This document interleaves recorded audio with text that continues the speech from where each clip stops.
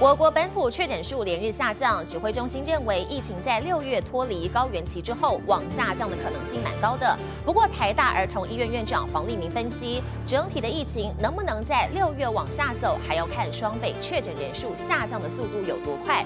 也有医师预估，今天到周四就有机会看到确诊数的高峰点，更预测台湾的死亡高峰将发生在六月十号左右，之后就会一路往下。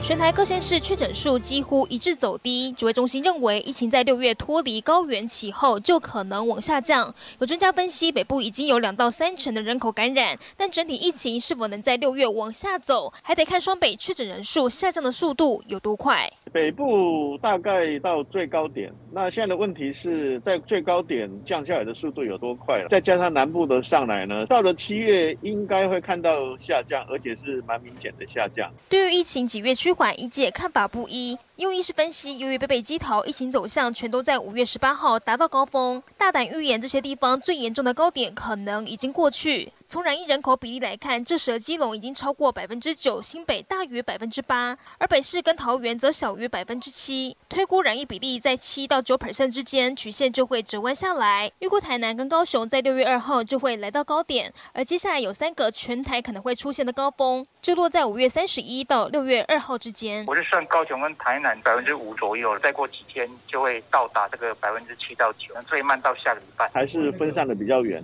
所以他们的传染的速度不一定会那么快。除了确诊数面临升高后降温，像是新加坡还有南韩的死亡高峰，都是落后新增确诊高峰一周。因此有医师推估，台湾的死亡高峰将会落在六月十号左右。死亡的人数不会一下子就立刻的减少，可能会在高档区。